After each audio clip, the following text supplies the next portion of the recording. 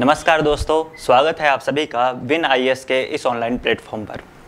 जैसा कि दोस्तों, आप सभी को मालूम है कि हमारी चर्चा भारत के संवैधानिक व्यवस्था को लेकर चल रही थी और हमने विभिन्न पहलुओं पर अपनी चर्चा को कंप्लीट भी कर लिया था। हमने देख लिया था इसके पहले कि संविधान सभा के संबंध में इसके पहले कौन कौन से प्रश्न विभिन्न परीक्षाओं में पूछे गए हैं और आने वाले समय में और कौन से प्रश्न पूछे जा सकते हैं, उन समस्त बिंदुओं पर हमने चर्चा कंप्लीट कर ली थी। उसके बाद हमने संघीय कार्यपालिका की बात की थी, जिसमें हमने लगभग बहुत महत्वपूर्ण विषय जो होते हैं, जैसे प्रधानमंत्री, उपराष्ट्रपति और महान्यायवादी, इनके संबंध में जो प्रश्न बन सकते थे, उनके संबंध में सारी चर्चा कर ली थी।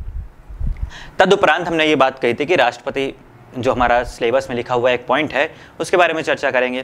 तो राष्ट्रपति के संबंध में विभिन्न परीक्षाओं में कैसे प्रश्न पूछे गए हैं, आने वाले समय में कैसे प्रश्न पूछे जा सकते हैं, उन समस्त पहलुओं पर हमारी चर्चा आज चलने वाली है। तो चलिए अपनी चर्चा को शुरू करते हैं, लेकिन उसके पहले आप सभी को जैसा कि मालूम है कि हमारा एक सत्र चलता है, एक सेशन चलता है, एक सेगमेंट चलता है, जो क्या कहलाता है, सुप्रीम कोर्ट के महत्वपूर्ण निर्णय। तो सबसे पहले हम सुप्रीम कोर्ट के आज के निर्णय की बात करेंगे तो निर्णय है, उस निर्णय का नाम है, गोलकनाथ वाद। गोलकनाथ वाद जो 1967 में हुआ था। इसके ये जो वाद आया था, वो तब आया था जब सुप्रीम कोर्ट में याचिका दर्ज की गई, याचिका दर्ज की गई कि अनुच्छेद तेरह, जो मौलिक अधिकारों के संबंध में कुछ प्रावधान करता है तो उसके तहत अगर कोई संशोधन संसद करती है तो कोई यह विधि या कानून कहलाएगी कि नहीं? इस पर सुनवाई करने के दौरान सुप्रीम कोर्ट ने यह निर्णय दिया कि अनुच्छेद तीन सौ अड़सठ के तहत यदि मौलिक अधिकारों में संशोधन करना है, मौलिक अधिकारों में संशोधन यदि करना है तो उस हेतु क्या चाहिए आपको? एक संविधान सभा चाहिए। पुनः संविधान सभा को बैठाना पड़ेगा।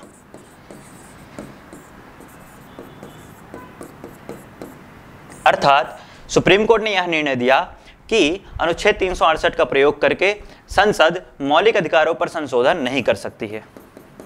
मौलिक अधिकारों पर संशोधन नहीं कर सकती है। अब देखिए, मैंने बात की थी आपको शंकरी प्रसाद बाद की। शंकरी प्रसाद बाद में क्या कहा था कि संसद को यह शक्ति व्याप्त है कि वो संविधान के किसी भी बिंदु पर संशोधन कर सकती है। लेकिन 1967 के अपने गोलकनाथ बाद में ये क्या कहते हैं, अपने ही निर्णय को बदल देता है। अब ये क्या बोल रहा है कि संसद को यह शक्ति नहीं प्राप्त है कि वो मौलिक अधिकारों के विषय में संशोधन कर दे। अगर ये संशोधन वो करना चाहती है तो उसके लिए एक पुनः संविधान सभा आयोजित की जाएगी। तो ये बात हो गई किसकी? हमारे आज के सेगमेंट की, गोलकनाथ वाद की। चलिए आप प्रश्नों पे आते हैं और हमारी प्रश्नों की चर्चा कहाँ से होगी? तो जैसा कि हमारा सिलेबस में एक टॉपिक है, राष्ट्रपति। हमने संघीय कार्यपालिका की बात कंप्लीट कर ली थी।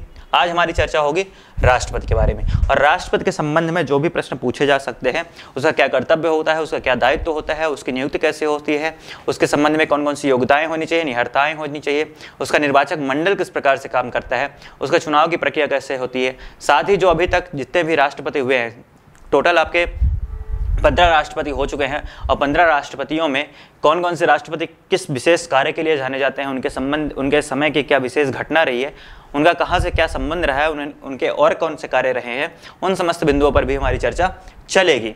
तो चलिए अपने प्रश्नों पे आते हैं। हमारा पहला प्रश्न है कि भारत के पूर्व राष्ट्रपतियों में निम्नलिखित में कौन बिहार का राज्यपाल रह चुका था? हमारे ऑप्शन है, option A doctor Rajendra Prasad, option B doctor Shankar Dayal Sharma, option C doctor Zakir Hussain या ऑप्शन डी वीवी गिरी। चलिए, जल्दी से अपना जवाब दे दीजिए, इसका सही जवाब हो जाएगा आपका option C option C doctor Zakir Hussain. Zakir Hussain की अगर बात की जाए तो ये हमारे जो तेलंगाना राज्य है, वर्तमान में तेलंगाना है, पहले आंध्र प्रदेश हुआ करता था, उससे इनका संबंध माना जाता है। तो कहाँ से संबंध माना जाता है? तेलंगाना। तेलंगाना। तेलंगाना से इनका संबंध माना जाता है। उनका जन्म स्थान तेलंगाना था। और अगर बात की जाए कि इनके बारे में और खास बात क्या है तो ये हमारे उपराष्ट्रपति भी थे। उपराष्ट्रपति। उपराष्ट्रपति थे। उसके अतिरिक्त और अगर बात की जाए तो क्या खासियत बात है इनकी? तो इनकी राष्ट्रपति पद के दौरान पद रहते मृत्यु हुई थी। पद रहते मृत्यु। तीन की कुछ खास बातें हो गई। और एक प्रश्न तो ये मिल गया कि ये कहाँ के राज्यपाल थे? बिहार के राज्यपाल भी रह चुके थे। अगले प्रश्न पे आते हैं, हमारा अगला प्रश्न है, निम्नलिखित में से कौन से राष्ट्रपति सर्वोच्च न्यायालय में उपस्थित हुए थे जब सर्वोच्च न्यायालय राष्ट्रपति के निर्वाचन विवाद की सुनवाई कर रहा था? हमारे ऑप्शन है option A doctor Zakir Hussain option B V B Giri option C Fakhruddin Ali Ahmed, या ऑप्शन डी नीलम संजीवा रेड्डी। तो बहुत ही इंपॉर्टेंट सवाल है, क्योंकि एक समय आता है 19 आपके 74 के टाइम का एक समय होता है। उस टाइम पे ये घटना होती है कि 1974 की नहीं, उसके पहले ही घटना है 69 की घटना है। तो ध्यान सुनिएगा, उस टाइम पे ये होता है कि एक चुनाव होता है, राष्ट्रपति का चुनाव होता है और उसमें कई उम्मीदवार शामिल होते हैं। और उस चुनाव के दौरान दोबारा गणना होती है। राष्ट्रपति चुनाव में आपको पता है, कल संक्रमणीय मत प्रणाली का इस्तेमाल किया जाता है। 50 परसेंट से ज़्यादा वोट एक व्यक्ति को चाहिए होता है। तो ऐसी व्यवस्था के लिए दो उम्मीदवार थे। उन उम्मीदवार का नाम था, एक थे वी गिरी, दूसरे थे नीलम संजीवा रेड्डी। तो उनके चुनाव की मतगणना के दौरान दो बार मतगणना की गई। इसको लेके जो व्यक्ति हार जाते हैं, वो चले जाते हैं कहाँ पर? सुप्रीम कोर्ट पे। अपनी याचिका को लेके। और आपको पता है कि जब राष्ट्रपति, उपराष्ट्रपति के चुनाव संबंधी मामले होंगे, वो कहाँ पर सुने जाएँगे?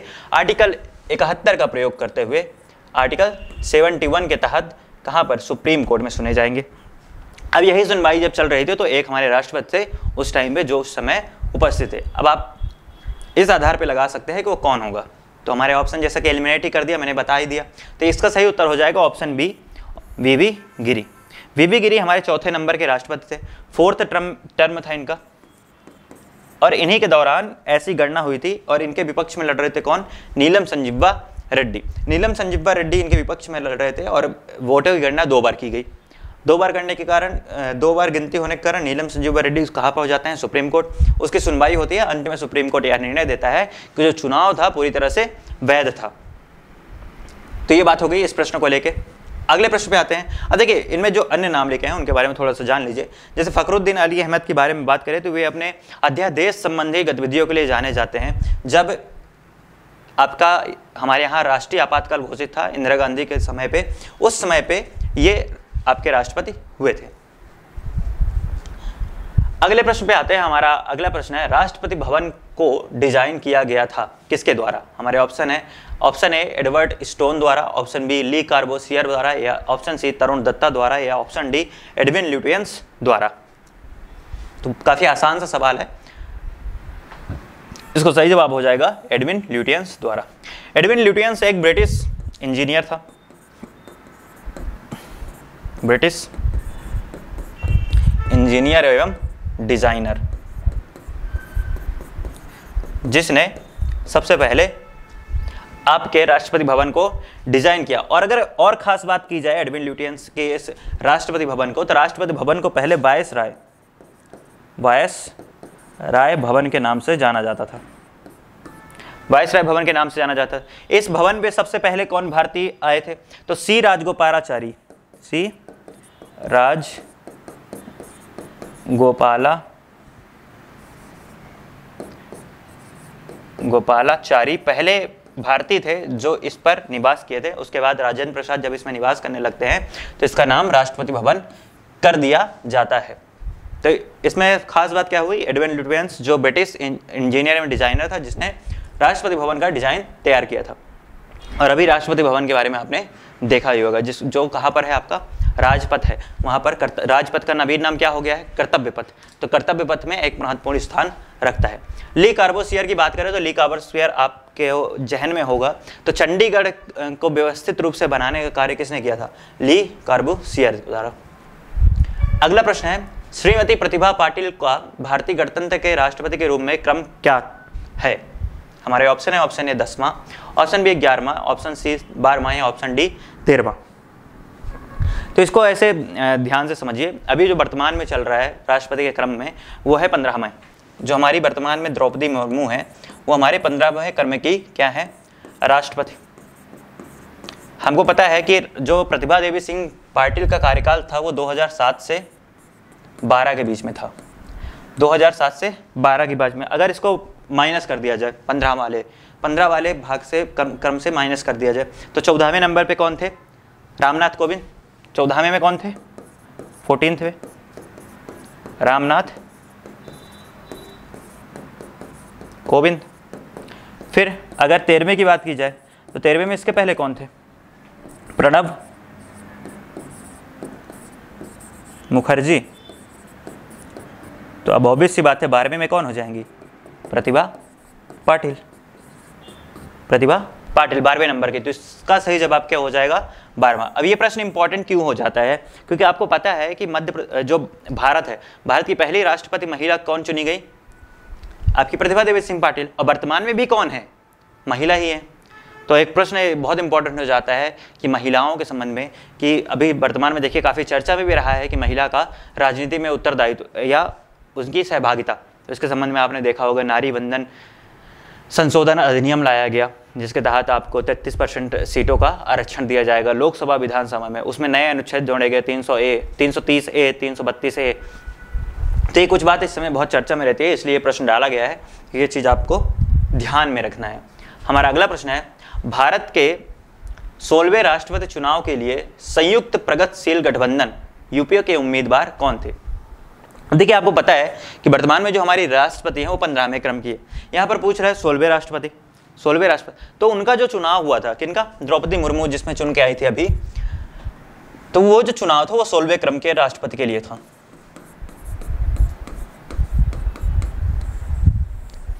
क्रम के तौर पे सोलहवें था, लेकिन व्यक्ति के तौर पे कैसे था? पंद्रहवें तौर पे। क्यों?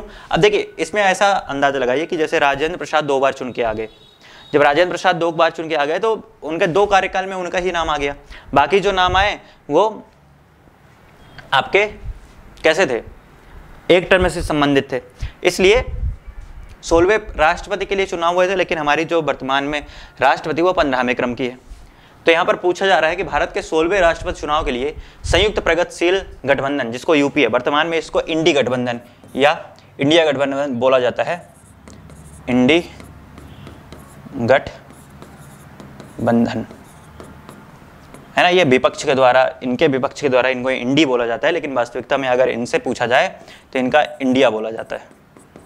इंडिया गठबंधन, जिसमें 26 दल शामिल है। 26 दल इसमें शामिल है। हालाँकि वो दल कभी एक रूपता दिखने को नहीं मिलता है, क्योंकि अभी ही बहुत सारे दल इससे अलग भी हो गए। लेकिन जब ये बना हुआ था, ये दल, ये जो गठबंधन बना था, उसमें 26 दल शामिल थे। लेकिन अभी चौधरी चरण सिंह की जो पार्टी थी उनके बेटे थे जयंत चौधरी जो उनकी पार्टी है वो अलग हो गई थी इससे। ऐसे कुछ कई सारी पार्टियाँ क्या हुई थी अलग हो गई हैं जो किससे संबंध रखते थे आपके इंडी गठबंधन से। यहाँ पर प्रश्न है कि सोलहवें राष्ट्रपति चुनाव के लिए संयुक्त प्रगतिशील गठबंधन यूपीए के उम्मीदवार कौन थे? हमारे ऑप्शन है option A Yashwant Sinha option B Shatrughan Sinha option C Draupadi Murmu option D Shankar Agarwal या ऑप्शन ई e, इनमें से कोई नहीं। या उपयुक्त में एक से अधिक। तो इसका सही जवाब हो जाएगा ऑप्शन ए यशवंत सिन्हा यशवंत सिन्हा जब आपके एक यूपीए की सरकार थी, उस टाइम पे ये कैबिनेट वित्त मंत्री थे। कैबिनेट वित्त मंत्री को ये सुशोभित कर चुके हैं। और ये राज्यसभा की सदस्यता और लोकसभा सदस्यता, हम के भी के भी इनके अंतर्गत आती थी। शत्रुघ्न सिन्हा की बात करें तो टीएमसी टीएमसी जो तृणमूल कांग्रेस है, उसके एक सदस्य हैं। कहाँ से? आपके बिहार बंगाल से। द्रौपदी मुर्मू तो पता ही है कहाँ पर से इसके पहले द्रौपदी मुर्मू झारखंड की राज्यपाल थी। वर्तमान में हमारे पंद्रहवें क्रम की राष्ट्रपति हैं जिनका संबंध किससे माना जाता है? एनडीए गठबंधन से माना गया था। शंकर अग्रवाल के बारे में ऐसे कुछ अभी जानकारी खास है नहीं, ये भी एक व्यक्तित्व है जो राजनीतिक क्षेत्र में अपनी विशिष्ट पहचान रखते हैं। अगले प्रश्न पे आते हैं, हमारा अगला प्रश्न है, निम्नलिखित में भारत के राष्ट्रपतियों में कौन दार्शनिक राजा अथवा दार्शनिक शासक के रूप में जाना जाता है? हमारे ऑप्शन है option A doctor Radha Krishnan option B doctor Rajendra Prasad option C doctor Zakir Hussain या डॉक्टर अब्दुल कलाम आज़ाद। तो इसका सही जवाब हो जाएगा option A doctor Radha Krishnan कई सारे परीक्षाओं में आपने दर्शन शास्त्र में राधा कृष्णन का दर्शन बहुत इंपॉर्टेंट है। इन्होंने अपनी किताब में इंडियन दर्शन को इंडियन फिलोसॉफी को बहुत बेहतर तरीके से बताया है और इन्होंने अपने जो नव वेदांति, ये नव वेदांति कहलाते हैं जो पूर्व और पश्चिम का जो दर्शन है, पूर्व पश्चिम के दर्शन को एक रूप करने का प्रयास किया। इन्हीं के सिद्धांतों को भी आगे चल के जो इंडियन फिलोसॉफी है, जो वेदांत दर्शन है, उसको क्या मिली थी? गत मिली थी। वेदांत दर्शन को विशिष्ट पहचान बनी थी। वेदांत दर्शन को विशिष्ट पहचान। और अपने शिक्षा में योगदान देने के कारण, शिक्षा क्षेत्र में योगदान देने के कारण इनके जन्म दिवस पर राष्ट्रीय शिक्षक दिवस दिवस मनाया मनाया जाता है। तो राष्ट्रीय शिक्षक दिवस किसके जन्म दिवस मनाया जाता है? डॉक्टर राधा कृष्णन के। एक दार्शनिक राजा भी थे, दार्शनिक शासक के रूप में जाने जाते हैं। और जब भारत आज़ाद हुआ था, उस टाइम पे ये यूएसएसआर के राजदूत भी थे। जैसे कुछ खास बात है, जैसे और अगर खास बात की बात करें तो बनारस हिंदू विश्वविद्यालय के चांसलर रहे थे। उसके अतिरिक्त तो जो आंध्र प्रदेश यूनिवर्सिटी थे, उसके भी ये वाइस चांसलर रहे थे। अगला है, भारत के निम्नलिखित राष्ट्रपतियों में से कौन ट्रेड यूनियन आंदोलन से संबंध रखा था? हमारे ऑप्शन है option A V V Giri option B N Sanjiva Reddy option C Zakir Hussain, या option D K R Narayan. जल्दी से इसका जवाब दे दीजिए।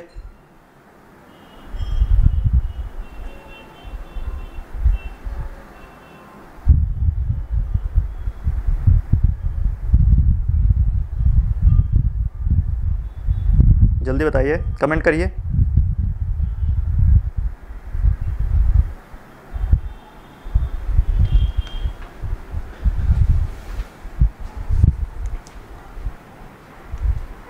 तो इसका सही जवाब हो जाएगा हमारा ऑप्शन है बीबी गिरी देखिए बीबी गिरी हमारे फोर्थ टर्म के फोर्थ टर्म था टर्म था इनका. फोर्थ टर्म के ये हमारे क्या थे? राष्ट्रपति 1969 से 74 तक. और अगर बात किया जाए तो ये दो बार ट्रेड यूनियन के ट्रेड यूनियन कांग्रेस था Indian trade union trade union congress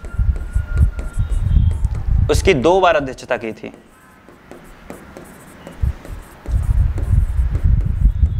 अध्यक्षता की थी। फिर इसके उपरांत एन संजीवा रेड्डी, इसके उपरांत चुन के आते हैं फकरुद्दीन अली अहमद, फिर एन संजीवा रेड्डी चुन के आते हैं। एन संजीवा रेड्डी संविधान सभा के सदस्य भी थे और आपके आंध्र प्रदेश के मुख्यमंत्री भी थे। जाकिर हुसैन के बारे में हमारी चर्चा कुछ देर पहले अभी हो ही चुकी है। के आर नारायण आपके दक्षिण भारत से संबंध रखने वाले राष्ट्रपति थे। अगले प्रश्न पे आते हैं, हमारा अगला प्रश्न है, भारत के किस राष्ट्रपति को मिसाइल मैन की संज्ञा दी जाती है? हमारे ऑप्शन है ऑप्शन है doctor Radha Krishnan doctor option B doctor A P J Abdul Kalam, doctor C Shankar Dayal Sharma या डी उपयुक्त में से कोई नहीं। तो ये आपको पता ही है, बहुत ही आसान सवाल है option B doctor A P J Abdul Kalam. Doctor A P J Abdul Kalam ISRO तथा डीआरडीओ में अपनी सेवा दे चुके थे। और जो पोखरण परीक्षण हुआ था 1998 में पोखरण। पोखरण परमाणु परीक्षण में इन्होंने अपना महत्वपूर्ण योगदान दिया था। इन्होंने अग्नि मिसाइल के निर्माण में, अग्नि मिसाइल के निर्माण में महत्वपूर्ण योगदान दिया था। इसलिए इनको मिसाइल मैन ऑफ़ इंडिया कहा जाता है। ये प्रश्न बहुत इंपॉर्टेंट हो जाता है क्योंकि अभी हाल ही में अग्नि फाइव अग्नि फाइव का परीक्षण किया हमने। अग्नि फाइव एक ऐसा मिसाइल है जो सतह से हवा में सतह से सतह में वार करने वाला मिसाइल है और इंटरकंटिनेंटल मतलब अंतर महाद्वीपीय अंतर महाद्वीपीय प्रकार का मिसाइल है। प्रकार का मिसाइल है। चर्चा में रहा है कभी, अभी कुछ दिनों पहले ही। तो ये चीज़ इंपॉर्टेंट हो जाती है। तो मिसाइल मैन की संज्ञा दी जाती है कि इनको doctor A P J Abdul Kalam, इनको भारत रत्न भी प्रदान किया जा चुका है और इनकी कुछ प्रमुख पुस्तकें हैं, जैसे बिंग्स ऑफ़ फायर और जो हमारा ये है, आपका, एक और बहुत उनकी प्रसिद्ध पुस्तक है, अभी मेरे को नाम याद नहीं इग्नाइट इग्नाइट माइंड है एक एक विंग्स ऑन फायर है इग्नाइट माइंड है और एक और है, एक बड़ा अच्छा प्लानिंग के ऊपर बेस्ड है। जो अर्बन एरिया में प्लानिंग है, उसको बढ़ावा देने के लिए एक इनका प्लान है। तो उसकी भी एक किताब है, अभी ध्यान नहीं आ रहा है मेरे को। तो ये बात हो गई किसकी? प्रश्न क्रमांक आठ की। अगला है, हमारे ऑप्शन है।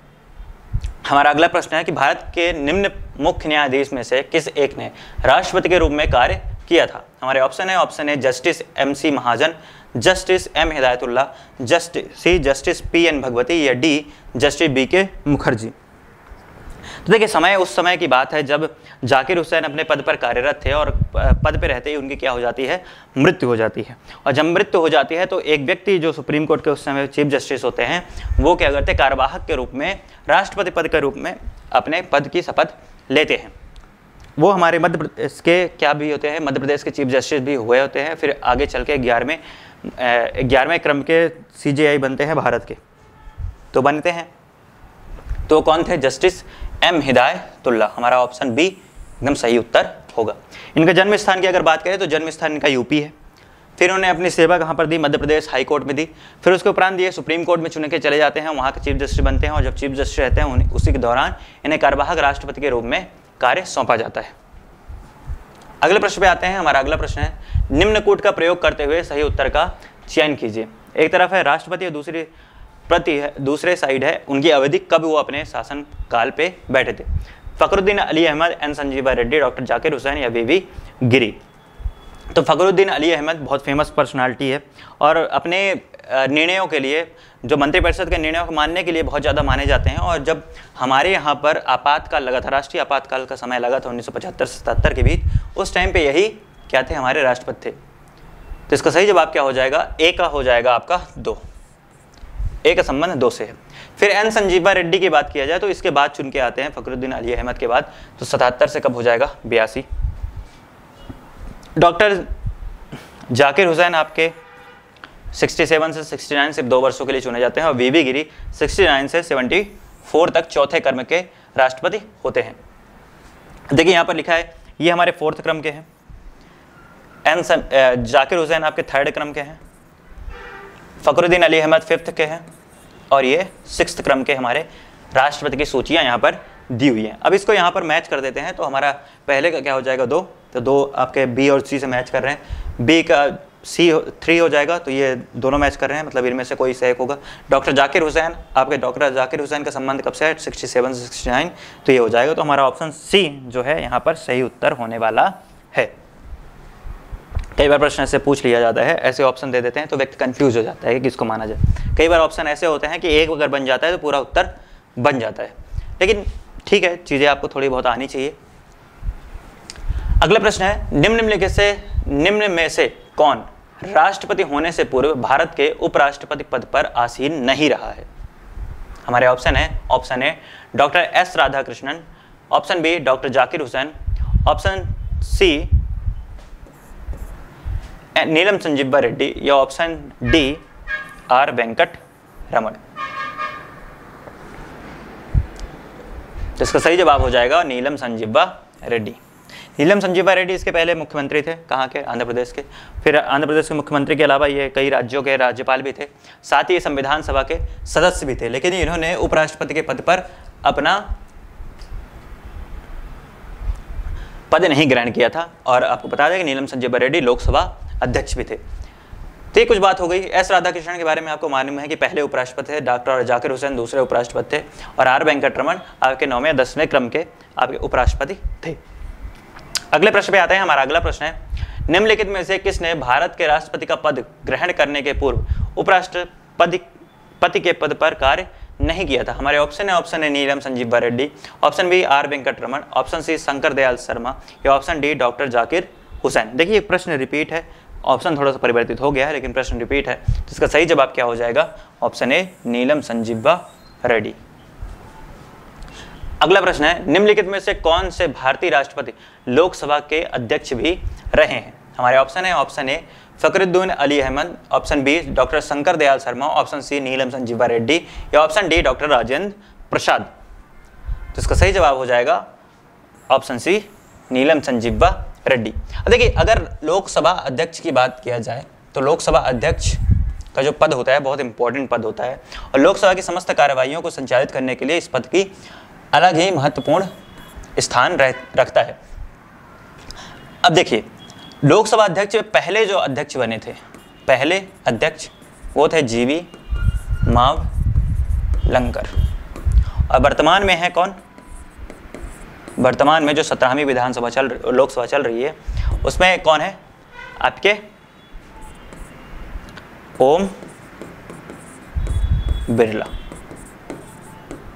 ये कुछ फैक्ट है किसके संबंध में? आपके लोकसभा अध्यक्ष के। पहली अगर महिला की बात की जाए तो पंद्रहवीं जो लोकसभा थी, पंद्रहवीं लोकसभा, उस पर मीरा कुमारी मीरा कुमारी, क्या बनी थी? लोकसभा अध्यक्ष, पहली महिला बनी थी। अगले प्रश्न पे आते हैं, हमारा अगला प्रश्न है, स्वतंत्र भारत के प्रथम राष्ट्रपति कहाँ से थे? स्वतंत्र भारत के प्रथम राष्ट्रपति मतलब राजेंद्र प्रसाद। हमारे ऑप्शन है, उत्तर प्रदेश से ऑप्शन बी आंध्र प्रदेश से ऑप्शन सी बिहार से ऑप्शन डी तमिलनाडु से। तो इसका सही जवाब हो जाएगा ऑप्शन सी बिहार से। राजेंद्र प्रसाद बहुत बड़ी पर्सनालिटी थी, और आपके जो संविधान सभा थी, संविधान सभा की बैठक की अध्यक्षता कौन कर रहे थे? स्थायी अध्यक्षता राजेंद्र प्रसाद के द्वारा ही की जा रही थी।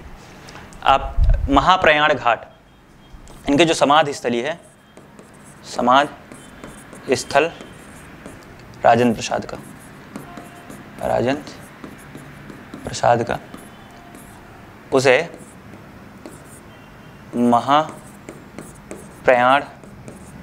घाट कहा जाता है। महाप्रयाण घाट का संबंध किससे है? आपके राजेंद्र प्रसाद है। तो प्रश्न इस प्रकार से भी पूछ ले तो आपको इस चीज़ का ध्यान रखना है। अगले प्रश्न पे आते हैं। हमारे अगला प्रश्न है, भारत के चौथे राष्ट्रपति कौन थे? हमारे ऑप्शन है, Shri V Giri, doctor S Radhakrishnan, doctor Zakir Hussain या डॉक्टर फकरुद्दीन अली अहमद। तो कई बार इसकी चर्चा मैंने अभी कर दी थी तो बीबी गिरी, इसका सही जवाब होगा। फोर्थ क्रम के कौन थे? बीबी गिरी, फोर्थ थे। फिर डॉक्टर एस राधाकृष्णन आपके फ़र्स्ट थे।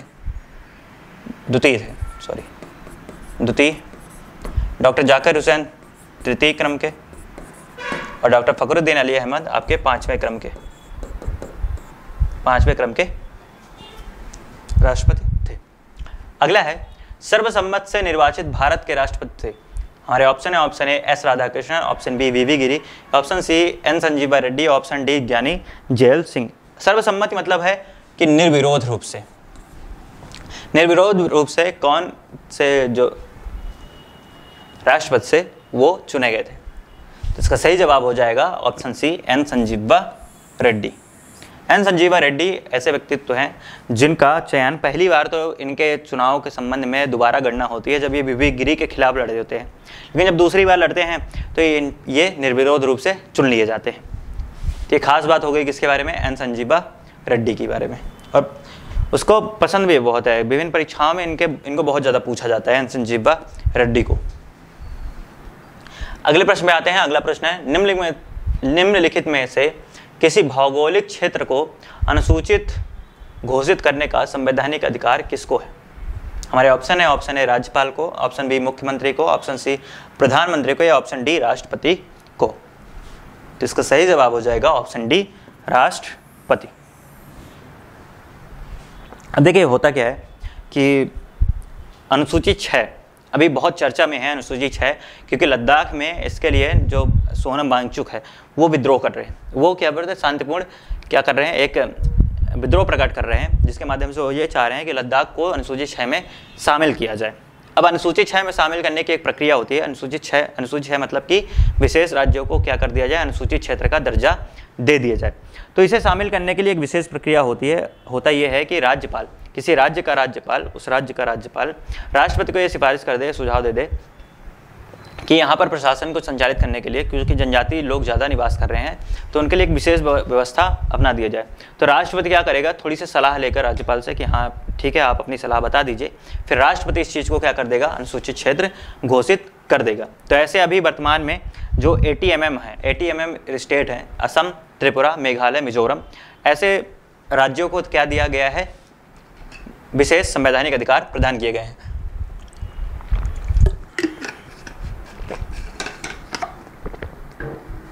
चलिए आगे चलते हैं। हमारा अगला प्रश्न है, संसद के लिए राष्ट्रपति का अभिभाषण कौन तैयार करता है? हमारे ऑप्शन है, ऑप्शन ए स्वयं राष्ट्रपति, ऑप्शन बी लोकसभा अध्यक्ष, ऑप्शन सी राज्यसभा के सभापति या ऑप्शन डी केंद्रीय मंत्री मंडल। देखिए, हमारे संविधान के अनुच्छेद तिरपन में क्या लिखा हुआ है? कि भारत का एक राष्ट्रपति होगा और राष्ट्रपति अपनी समस्त शक्तियों का प्रयोग, समस्त शक्तियों का प्रयोग अपने अधीनस्थ अधिकारियों के माध्यम से करेगा। अधीनस्थ अधिकारियों के माध्यम से करेगा।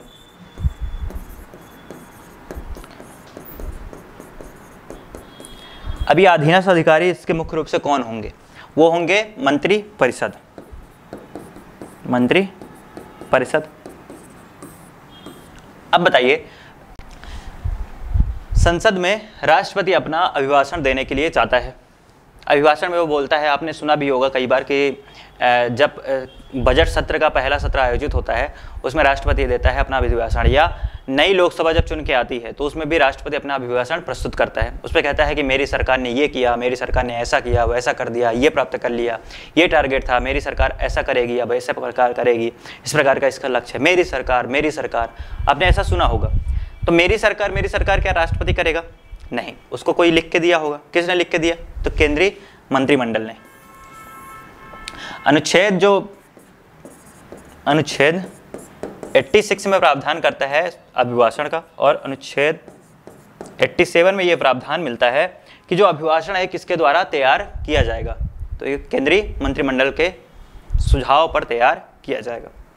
अगले प्रश्न में आते हैं, हमारा अगला प्रश्न है, भारत के प्रथम राष्ट्रपति राजेंद्र प्रसाद किस राज्य से थे? तो हमारी चर्चा थोड़ी देर पहले भी हो चुकी है।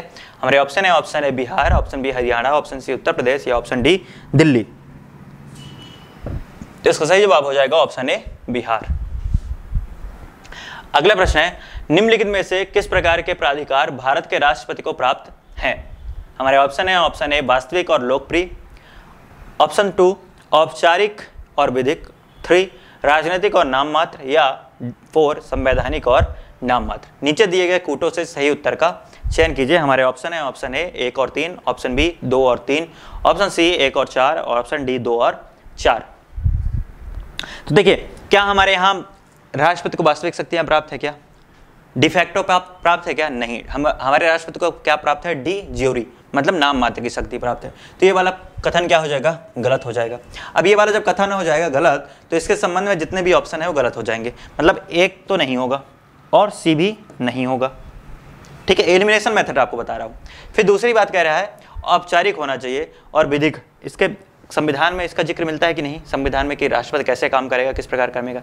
करेगा। हाँ बिल्कुल मिलता है। साथ ही ये भी मिलता है कि विधिक रूप से ये भी मिलता है कि 1969 में राष्ट्रपति कर्तव्य निर्वहन संबंधी एक विधेयक लाया गया, अधिनियम लाया गया, जिसके तहत ये कहा गया कि यदि राष्ट्रपति अनुपस्थित होता है या उपराष्ट्रपति अनुपस्थित होता है तो उसके स्थान पे सुप्रीम कोर्ट का जो वरिष्ठतम न्यायाधीश, सुप्रीम कोर्ट का जो मुख्य न्यायाधीश होगा, उसके बाद जो वरिष्ठतम न्यायाधीश होगा, वो उसके पद पर आसीन होंगे।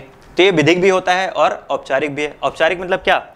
कि संसद का क्या है? भाग है। औपचारिक मतलब क्या है? संसद का भाग है। तो मतलब ये क्या हो जाएगा? सही कथन हो जाएगा। ये कथन सही होगा। राजनीतिक और नाम मात्र आप बताइए, क्या राष्ट्रपति किसी दल का समर्थन करता है क्या? नहीं। राष्ट्रपति निर्दलीय होता है। मतलब किसी दल विशेष से वो संबंध नहीं रखता है। भले ही उसको उम्मीदवार एनडीए वाले बनाए या फिर यूपीए बनाए या इंडिया गठबंधन वाले बनाए, उससे फ़र्क नहीं पड़ता है। लेकिन जब वो पद पर चयनित हो जाएगा तो वो किसी भी राजनीतिक दल से संबंध नहीं रखेगा। वो निस्वार्थ भाव से, इससे यह आशा की जाती है कि वो निस्वार्थ भाव से अपने देश की सेवा के लिए कार्य करे। तो राजनीतिक नहीं है। राजनीतिक ना होके क्या है, संवैधानिक है। तो तीन भी गलत हो जाएगा। तो अब एक तीन जब गलत हो गए तो आप इससे क्या हो जाएगा कि ऑप्शन हट जाएँगे। ऑप्शन कौन से हट गए? आपके ये वाला ये वाला और ये वाला। तीनों क्या हो गए? हट गए। तो मतलब ये नहीं होगा। तो सही उत्तर क्या होगा? ऑप्शन टू और फोर टू और फोर ये सही उत्तर हो जाएगा। ये थोड़ा सा हमको एलिमिनेशन मेथड इस प्रकार से खास करके जो भी यूपीएससी का एग्ज़ाम देते हैं और प्रश्न नहीं बन रहा होता है, वहाँ पर इस मेथड का प्रयोग किया जा सकता है। अगले प्रश्न पे है, आते हैं। हमारा अगला प्रश्न है, भारतीय संविधान के अनुसार भारत के राष्ट्रपति का यह कर्तव्य है कि वे निम्नलिखित में से किसको या किन को संसद के पटल पर रखवाए। संघ या वित्त आयोग की सिफारिशों को लोक लेखा समिति के प्रतिवेदन को, नियंत्रक महालेखा पर्यवेक्षक के प्रतिवेदन को या फोर राष्ट्रीय अनुसूचित जाति आयोग के प्रतिवेदन को, निम्नलिखित कूटों के आधार पर सही उत्तर को चुनिए। हमारे ऑप्शन है, केवल एक केवल दो और चार। सी, एक, दो, तीन और चार, या डी, एक एक, तीन और चार।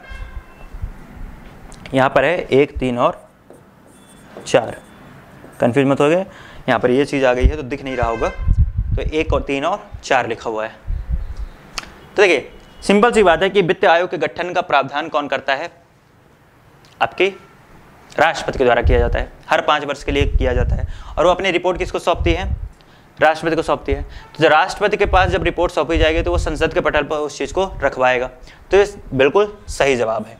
मतलब कि संघ वित्त आयोग की सिफारिशों को संसद के पटल पर रखवाएगा। लोक लेखा समिति के प्रतिवेदन को संसद के पटल पर रखवाएगा। क्या बात आपको ये थोड़ा समझ में आ रही है? नहीं, क्योंकि लोक लेखा समिति क्या डायरेक्ट काम करती है? नहीं। वो एक सदन के अंदर काम कर रही होती है, वो कैसे काम करेगी? तो जो नियंत्रण एकम लोक लेखा परीक्षक, जो अपनी रिपोर्ट प्रस्तुत करता है। अभी नियंत्रक सीएजी जो होता है, अपनी रिपोर्ट स्वयं नहीं प्रस्तुत करता है। ये पहले अपनी रिपोर्ट किसको देगा? राष्ट्रपति को देगा। और राष्ट्रपति उस रिपोर्ट को कहाँ पर करवाएगा? संसद में करवाएगा। तो जब संसद में उस रिपोर्ट की चर्चा हो रही होगी तो लोक लेखा समिति उसकी जाँच करेगा। तो यहाँ पर वो प्रतिवेदन राष्ट्रपति को देगी क्या? नहीं, वो संसद को देगी। तो ये वाला कथन क्या हो जाएगा? दो नंबर का गलत हो जाएगा। फोर्थ की अगर बात करें, राष्ट्रीय अनुसूचित जाति आयोग की अगर बात करें तो एक संवैधानिक निकाय है। इसके इसके अध्यक्ष की नियुक्त कौन करता है? आपके राष्ट्रपति करता है। और रिपोर्ट आयोग किसको देता है? राष्ट्रपति को देता है। और राष्ट्रपति को जब रिपोर्ट देता है तो वो प्रतिवेदन को संसद के पटल पर रखा जाता है। तो ये भी कथन क्या हो जाएगा? सही हो जाएगा। तो हमारा इसका सही उत्तर क्या हो जाएगा? Option D. ऑप्शन डी इसका सही जवाब होगा। अगले प्रश्न पे आते हैं, हमारा अगला प्रश्न है, निम्नलिखित में से कौन सा संवैधानिक विशेषाधिकार राष्ट्रपति को नहीं है? विशेषाधिकार की बात करें, संवैधानिक रूप से। नहीं है की बात हो रही। है हमारे ऑप्शन है, ऑप्शन ए, साधारण बिल को पुनर्विचार हेतु लौटाना। ऑप्शन बी, वित्तीय बिल को पुनर्विचार हेतु लौटाना। या ऑप्शन सी, पॉकेट शक्ति का प्रयोग करने। ऑप्शन डी, संविधान संशोधन विधेयक पर। जिसका सही जवाब हो जाएगा ऑप्शन बी। ठीक है, वित्तीय विधेयक जो होते हैं, बिल होते हैं, उसमें धन विधेयक की बात होती है। ठीक है, अब ये विधेयक क्या होते हैं? राष्ट्रपति के पास पूर्व अनुमति से ही प्रस्तुत किए जाते हैं। तो इस इस विधेयक पर उसको किसी प्रकार के क्या नहीं है, विशेषाधिकार प्राप्त नहीं है। तो ऑप्शन बी इसका सही जवाब हो जाएगा। अगले प्रश्न पे आते हैं, हमारा अगला प्रश्न है, भारत के राष्ट्रपति की शक्ति नहीं है। हमारे ऑप्शन है, अध्यादेशों का प्रावधान बी, उच्चतम न्यायालय से परामर्श करना, सी, संसद के सदनों को संदेश भेजना या डी, क्षमादान करना।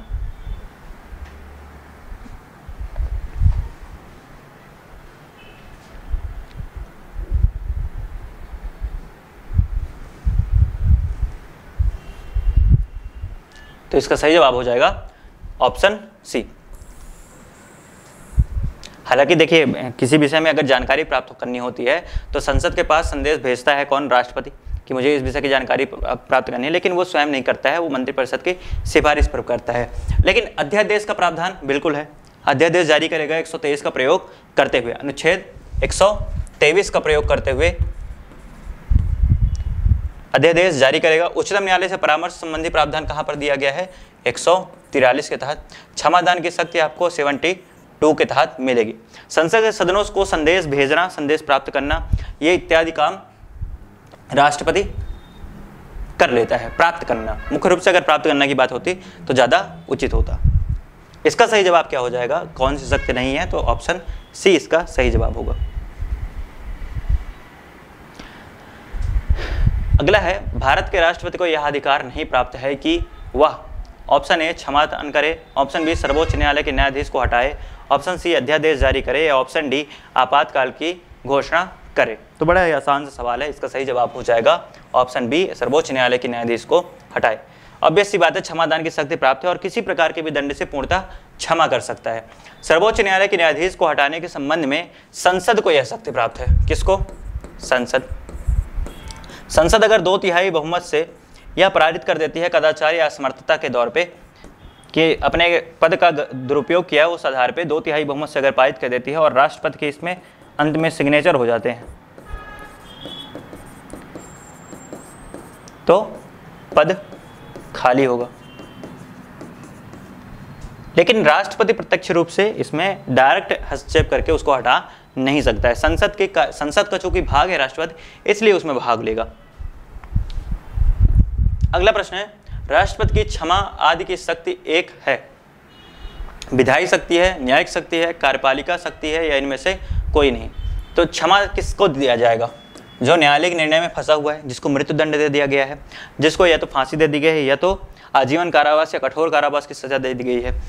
ऐसे व्यक्ति किससे संबंधित होते हैं? न्यायपालिका से संबंधित होते हैं। तो ये शक्ति कैसी हो जाएगी? उसकी न्यायिक शक्ति हो जाएगी।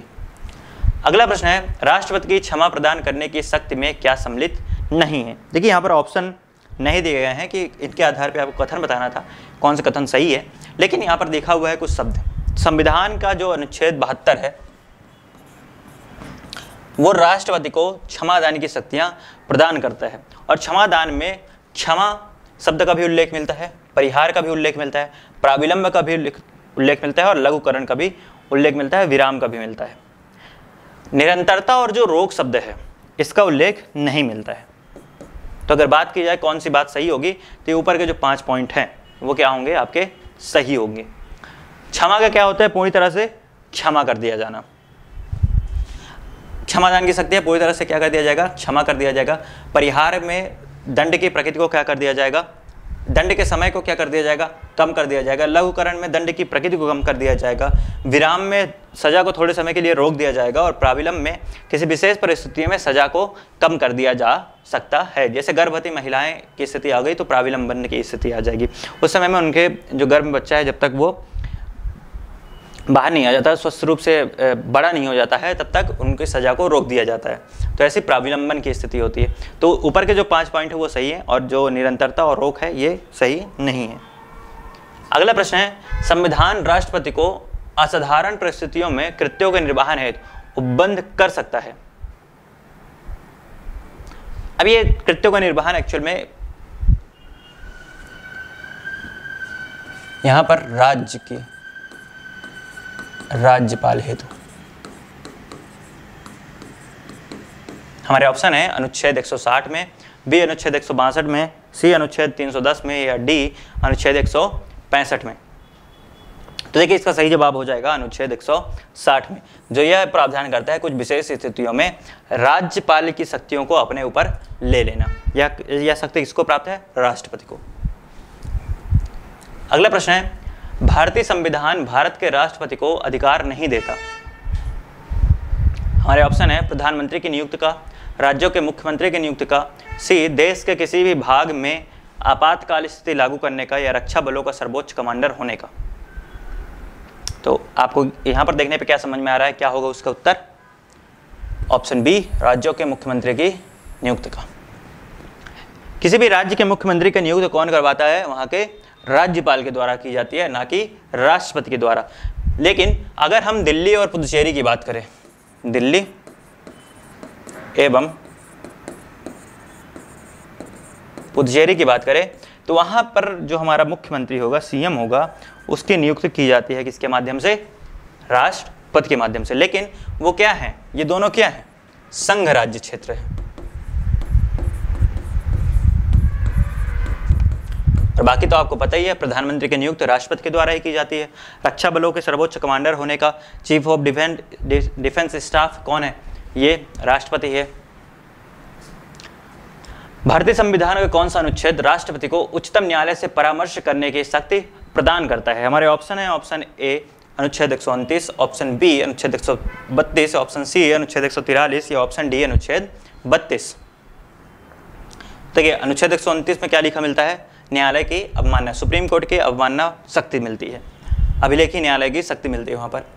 अनुच्छेद 132 में आपको संवैधानिक अपीलें करने का मौका मिलता है। फिर अनुच्छेद 143 में आपके परामर्श संबंधी ज़िक्र मिलता है। राष्ट्रपति क्या कर सकता है? किसी विशेष मुद्दे पर, लोक महत्व के मुद्दे पर आपके राष्ट्रपति से सलाह सुप्रीम कोर्ट से सलाह ले सकता है। एक सौ तिरालीस एक और एक सौ तिरालीस दो। एक एक के तहत ऐसे सुझाव मांगे जाएँगे जिस पर आपके संविधान बनने के उपरांत जो प्रावधान शामिल किए गए हैं, उनके संबंध में कोई सुझाव मांगे जाते हैं। तो राष्ट्र, जो आपका कौन है? सुप्रीम कोर्ट यह सुझाव मानने देने के लिए भी और ना देने के लिए दोनों के लिए वो होता है। मतलब उसके सब ये कह सकते हैं। विवेक पर निर्भर होता है कि वो सुझाव दे या ना दे। और अगर कोई सुझाव देता है तो राष्ट्रपति भी क्या होता है? उसकी विवेक पर निर्भर करता है कि उस सुझाव को स्वीकार करे कि ना करे।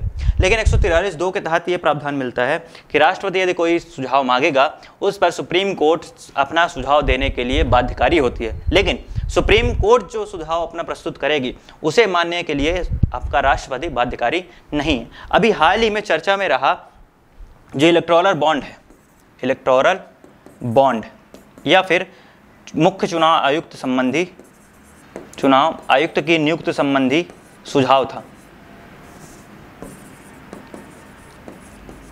इसमें सरकार को एक के तहत क्या किया जा, गया था? अभी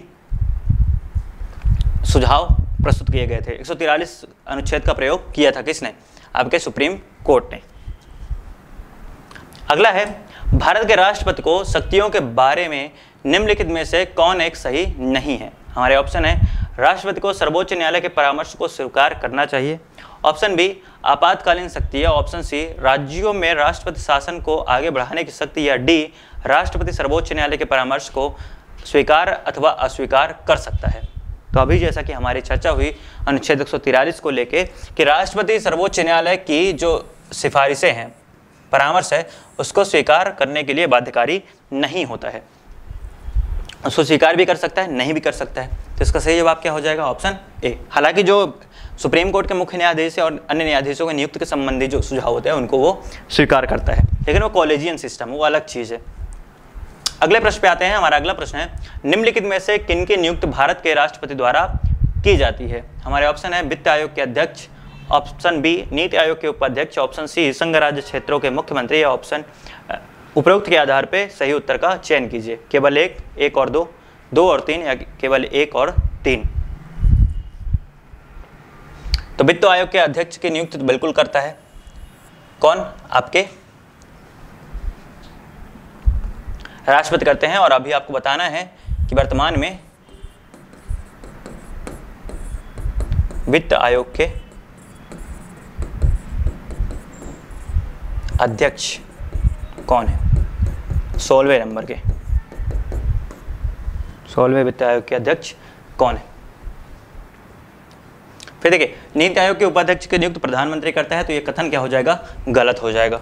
और संघ राज्य क्षेत्र के मुख्यमंत्री की नियुक्ति कौन करता है? राष्ट्रपति, जैसा कि दिल्ली और पुदुचेरी में। इसका उल्लेख मिलता है दो सौ उनतालीस का काम है। दो सौ उनतालीस का काम है, इसका उल्लेख मिलता है कि इसके संबंध में जो सत्तरवा संविधान संशोधन हुआ था सेवेंटियथ कॉन्स्टिट्यूशनल अमेंडमेंट, उसमें यह प्रावधान किया गया कि जो उनके मुख्यमंत्री नियुक्त होंगे, वो राष्ट्रपति के द्वारा नियुक्त किए जाएँगे। तो एक और तीन सही उत्तर हो जाएगा। तो ऑप्शन डी सही उत्तर होगा। अगले प्रश्न पे आते हैं। अगला प्रश्न है, निम्नलिखित में से राष्ट्रपति किसकी नियुक्त करता है? हमारे ऑप्शन है भारत का महान्यायवादी। ऑप्शन बी नियंत्रक एवं महालेखा परीक्षक। ऑप्शन सी एक राज्य का राज्यपाल या ऑप्शन डी उपरोक्त सभी।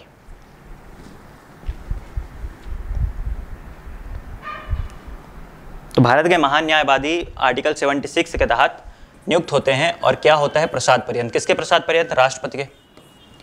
सीएजी की नियुक्ति भी कौन करता है? राष्ट्रपति करता है, बिल्कुल सही बात है। और एक राज्य का राज्यपाल भी किसकी, किसके द्वारा नियुक्त किया जाता है? राष्ट्रपति के द्वारा। जिसका सही जवाब हो जाएगा उपरोक्त सभी। अगला प्रश्न है, निम्नलिखित में से भारत का राष्ट्रपति किसकी नियुक्ति नहीं करता है? हमारे ऑप्शन है उपराष्ट्रपति, ऑप्शन बी प्रधानमंत्री, ऑप्शन डी राज्यपाल, या ऑप्शन सी मुख्य निर्वाचन आयुक्त। तो इसका सही जवाब हो जाएगा ऑप्शन ए उपराष्ट्रपति। देखिए, उपराष्ट्रपति जो पद होता है, उसका चुनाव होता है। चुनाव होता है कैसे? अप्रत्यक्ष रूप से। और संसद के दोनों सदनों से। संसद के दोनों सदनों से। वही विधि अपनाई जाती है जो राष्ट्रपति के निर्वाचक मंडल के उपरांत चुनाव में एकल संक्रमणीय मत प्रणाली की विधि अपनाई जाती है। तो एकल संक्रमणीय मत प्रणाली के अनुपातिक पद्धति को इस्तेमाल उपराष्ट्रपति के चुनाव में के अंतर्गत भी किया जाता है। प्रधानमंत्री की नियुक्त होती है, जो बहुमत दल का नेता होता है, उसे नॉर्मली राष्ट्रपति प्रधानमंत्री के रूप में नियुक्त करता है। राज्यपाल की नियुक्ति भी राष्ट्रपति के द्वारा की जाती है और मुख्य निर्वाचन आयुक्त की नियुक्त अभी वर्तमान में तीन सदस्यीय कमेटी की सिफारिश पर राष्ट्रपति के द्वारा की जाती है। अगला प्रश्न है, जब केंद्रीय मंत्रिमंडल ने दो वर्ष 2002 में चुनावी सुधारों पर अध्यादेश में बिना किसी बदलाव के उसे राष्ट्रपति को वापस भेजा। तब राष्ट्रपति ने भारतीय संविधान के कौन से अनुच्छेद के अंतर्गत उसे अपनी सहमति प्रदान की? हमारे ऑप्शन है अनुच्छेद एक ऑप्शन बी अनुच्छेद एक ऑप्शन सी अनुच्छेद एक या ऑप्शन सी अनुच्छेद एक तो इसका सही जवाब हो जाएगा ऑप्शन सी अनुच्छेद एक अनुच्छेद एक किसके प्रावधान करता है? अध्यादेश के संबंध में प्रावधान करता है और यहाँ पर अध्यादेश को स्वीकार करने की बात हो रही है। अब अगर अध्यादेश पेश किया गया था तो उसे स्वीकार करने की बात भी किसके माध्यम से होगी? अनुच्छेद 123 के तहत। अब अध्यादेश के आगे की जो कार्यवाही होती है, वो यह होता है कि जब सदन के सत्र शुरू होगा, उसके बयालीस मतलब छः सप्ताह के बाद उसको अनुमोदन देना आवश्यक होता है। अगले प्रश्न पे आते हैं, हमारा अगला प्रश्न है, संविधान के किस अनुच्छेद के अंतर्गत भारत के राष्ट्रपति को अध्यादेश जारी करने की शक्ति प्रदत्त है? हमारे ऑप्शन है, ऑप्शन बी 200 123 के माध्यम से। अब अगर राज्यों की बात की जाए, राज्य, राज्यपाल कहाँ से जारी करता है? तो राज्यपाल करता है 213 के तहत। वन, टू, थ्री के तहत करता है कौन? राष्ट्रपति। अध्यादेश जारी करने के उपरांत या मैक्सिमम छः माह प्लस छः सप्ताह तक लागू हो सकता है। और अगर इसके बाद संसद इसमें अनुमोदन कर सकती, कर देती है, उसको स्वीकार कर लेती है तो ये आगे लागू रहेगा। लेकिन छः माह और छः सप्ताह, देखिए छः माह क्यों? क्योंकि दो सत्रों के बीच में मैक्सिमम छः माह का ही क्या हो सकता है? गैप हो सकता है, इससे ज़्यादा नहीं होगा। तो छः माह और प्लस छः सप्ताह मतलब बयालीस दिन के अंदर अगर इसमें अनुमोदन नहीं होता है तो वो अध्यादेश समाप्त हो जाता है और अगर संसद के द्वारा अनुमोदन प्राप्त कर लिया जाता है तो वो कानून बन जाता है। जैसे, इसका उदाहरण अगर प्रस्तुत करूँ तो आपने सुना होगा, अभी आया था महिला मुस्लिम महिला विवाह संशोधन अधिनियम 2019 मुस्लिम महिला विवाह अधिनियम 2019 इसके संबंध में सबसे पहले राष्ट्रपति ने क्या लाया? अध्यादेश लाया। अध्यादेश लागू करने के उपरांत लोकसभा और राज्यसभा में इसको पेश पारित कर दिया जाता है और इसको लागू कर दिया जाता है। इसको ट्रिपल तलाक सिस्टम भी बोलते ट्रिपल तलाक अधिनियम भी बोलते हैं। अगर किसी व्यक्ति ने किसी मुस्लिम महिला के लिए तलाक तलाक तलाक जो प्रणाली होती है, तलाक के विद्युत वाली प्रणाली है, उसको समाप्त करने के लिए बात कही गई थी इसमें। ऐसा ही एक उदाहरण मिलता है आपके मानवाधिकार संरक्षण अधिनियम के संबंध में, जो उन्नीस सौ तिरानवे में आया था। उसके लिए भी राष्ट्रपति ने अध्यादेश जारी किया था। किसका प्रयोग करते हुए? अनुच्छेद एक सौ तेईस का प्रयोग करते हुए। अगले प्रश्न पे आते हैं। हमारा अगला प्रश्न है, संविधान के अनुसार इनमें से राष्ट्रपति की विधायी शक्ति कौन सी नहीं है? हमारे ऑप्शन है, संसद का सत्र आहूत करना, संसद का सत्रावसान करना, संसद की बैठक स्थगित करना या सी, अध्यादेश जारी करना। तो बात तो बिल्कुल सही है कि संसद का सत्र आहूत करता है कौन? आपका राष्ट्रपति। संसद का सत्रावसान करना यह भी कहा जाता है किसके माध्यम से? राष्ट्रपति के द्वारा। संसद की बैठक स्थगित स्थगित करना यह की जाती है किसके माध्यम से? जो सभापति होता है या अध्यक्ष होता है। तो लोकसभा अध्यक्ष या सभापति। फिर अध्यादेश जारी करना। तो अध्यादेश जारी करना आपको पता ही है, ये राष्ट्रपति को एक विशेष शक्ति प्राप्त है। अगला प्रश्न है, जब कोई विधेयक संसद में लाया गया है तो निम्नलिखित में से किसको उस विधेयक पर अनुमत रोकने का अधिकार प्राप्त है? हमारे ऑप्शन है ऑप्शन ए राष्ट्रपति को ऑप्शन बी प्रधानमंत्री को ऑप्शन सी लोकसभा अध्यक्ष को या ऑप्शन डी राज्यसभा के सभापति के। इसका ज़िक्र मिलता है आपके अनुच्छेद 111 में। 111 के अंतर्गत यह मिलता है कि जब राष्ट्रपति के समक्ष कोई विधेयक प्रस्तुत किया जाएगा तो उसके क्या क्या कर्तव्य होंगे? या तो उस पर वो अपने विचार को पूर्णतः संतुष्टि प्रदान करके लागू करवा सकता है या उसको लौटा सकता है पुनर्विचार के लिए, या फिर कोई भी उसमें सहमति नहीं देता है और अपने जेब में रख लेता है, पॉकेट में रख लेता है। ये सब प्रावधान कहाँ मिलते हैं? अनुच्छेद एक सौ ग्यारह में। ये किसको मिलते हैं? राष्ट्रपति को। इसका सही जवाब क्या हो जाएगा? ऑप्शन ए, राष्ट्रपति। अगले प्रश्न पे आते हैं। हमारा अगला प्रश्न है, निम्नलिखित में से कौन सी राष्ट्रपति की स्वविवेकी शक्तियाँ हैं। हमारे ऑप्शन है मंत्रिपरिषद के नियुक्त करना ऑप्शन बी दूसरे क्रम का है, विधेयक को आपत्तियों को सहित वापस भेजना। तीसरा नंबर है, विधेयक को रोक कर रखना। चौथा है क्षमा प्रदान करना। पांचवा है, संयुक्त अधिवेशन की अधिसूचना जारी करना। छठवा है, संसद को संदेश भेजना या सातवां है, न्यायाधीशों की नियुक्ति। अब देखिए, न्यायाधीशों की नियुक्ति क्या राष्ट्रपति स्वयं कर पाता है क्या? नहीं। क्यों नहीं कर पाता है? क्यों? न्यायाधीशों की नियुक्ति के संबंध में उसे कॉलेजियन से क्या मिलता है? सुझाव मिलता है। तो ये प्रश्न, ये क्या हो जाएगा? गलत हो जाएगा। फिर संस और बात करते हैं। क्षमा प्रदान करना। क्षमा प्रदान करने के संबंध में आपको पता है कि आर्टिकल 72 का प्रयोग करते हुए राष्ट्रपति प्रदान कर देता है। लेकिन क्या यह स्वयं प्रदान कर लेगा क्या? नहीं। इसके लिए उसको क्या करना पड़ेगा? मंत्रिपरिषद से सलाह लेनी पड़ेगी। तो ये भी क्या हो जाएगा कथन? स्ववेगी शक्तियों के संबंध में गलत हो जाएगा। फिर विधेयक को रोक कर रखना। विधेयक को रोक सकता है कि नहीं? कोई विधेयक राष्ट्रपति के पास आया तो उसे रोक ले। उसमें वीटो पावर का इस्तेमाल कर ले, चाहे वो आत्यांतिक वीटो हो या पॉकेट वीटो हो। उसका प्रयोग कर सकता है कि नहीं? बिल्कुल कर सकता है। तो ये बात क्या हो जाएगी? बिल्कुल सही हो जाएगी। फिर विधेयक को आपत्तियों सहित वापस भेजना मतलब निलंबनकारी विट्टू निलंबनकारी वीटो उसमें बिल्कुल किया जा सकता है। निलंबनकारी वीटो होता है ना? तो आपत्ति सहित वापस भेज दिया तो ये भी किया जा सकता है। ये भी बात सही है। मंत्रिपरिषद की नियुक्ति की अगर बात करें तो क्या मंत्रिपरिषद की नियुक्ति राष्ट्रपति स्वयं कर सकता है क्या? नहीं। वो प्रधानमंत्री की नियुक्त करता है। अब प्रधानमंत्री की सलाह पर अन्य मंत्रियों की नियुक्त करता है। तो मंत्रिपरिषद की नियुक्त वह सोवे की शक्तियों पर नहीं कर सकता है, बल्कि प्रधानमंत्री की सलाह पर करेगा। तो ये भी कथन क्या हो जाएगा? गलत हो जाएगा। अब देखिए, संयुक्त अधिवेशन की अधिसूचना जारी करना, ये भी सलाह आपको लोकसभा, जो मंत्रिपरिषद होती है, उसके सुझाव पर ही की जाएगी। तो ये कथन भी गलत हो जाएगा। संसद को संदेश भेजना। अब मान लीजिए कि स्थिति ऐसी है कि संसद में बहुमत किसी भी दल का नहीं है। वहाँ पर उसकी, राष्ट्रपति की स्वविवेक शक्ति बहुत ज़्यादा बढ़ जाती है। ऐसी स्थिति में संसद को संदेश भेजना उसकी स्वविवेक शक्ति में आ जाता है। तो आपका जो, आपका ऑप्शन है दो, तीन और छ ये हो जाएगा सही जवाब। दो, तीन छ तो ऑप्शन ई जो है, इसका सही जवाब ऑप्शन ई होगा। अगले प्रश्न पे आते हैं। हमारा अगला प्रश्न है, निम्न में से किस विषय पर राष्ट्रपति के लिए मंत्रिपरिषद से सलाह लेना आवश्यक नहीं है। हमारे ऑप्शन है ऑप्शन है राजदूतों की नियुक्ति। ऑप्शन बी राज्यपाल द्वारा प्रेषित विधेयक पर स्वीकृति। या ऑप्शन सी लोकसभा भंग करना। या ऑप्शन डी संविधान संशोधन विधेयक पर स्वीकृति देना।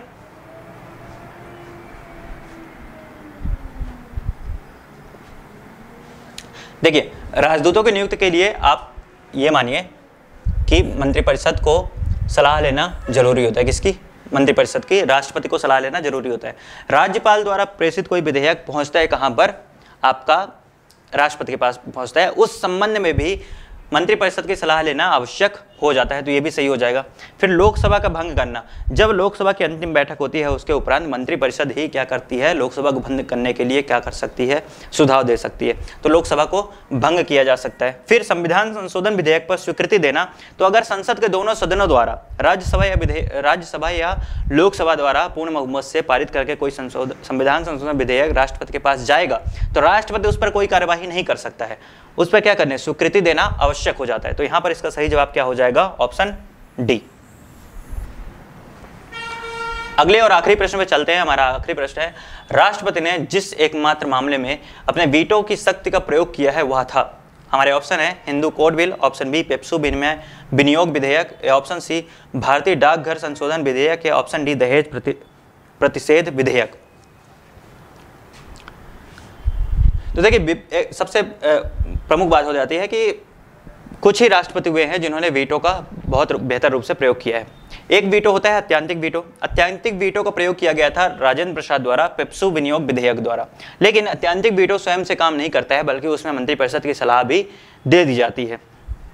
तो ये वाला माना नहीं जाता। लेकिन भारतीय डाकघर संशोधन विधेयक में पॉकेट वीटो का प्रयोग किया गया था। पॉकेट वीटो का। प्रयोग किसने किया था? ज्ञानी जेल सिंह ने।